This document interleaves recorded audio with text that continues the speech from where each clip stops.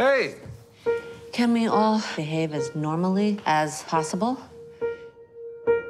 Yeah. Okay. Got it. Okay. You got it. All right. Okay. Great. Jonathan has a hard time talking about it. Killing grandma. No, I don't. It's illegal, right? How are you gonna do it? When's it happening?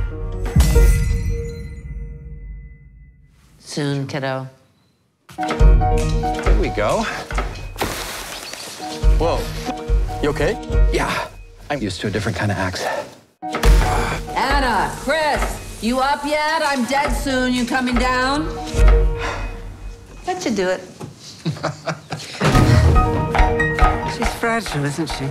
Give mom this one weekend without having the whole world revolve around you, Anna. Can you quit being a bitch? Stupid. I'm gonna call 911 and report a suicide attempt.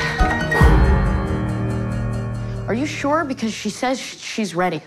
She's ready, but I'm not. Now's the time to do it while she's still in charge of what happens to her. Aren't you afraid? You know, once we set a date, I stopped worrying about dying and I could focus more on living. Inheritance has to all be spent on hookers and blow. What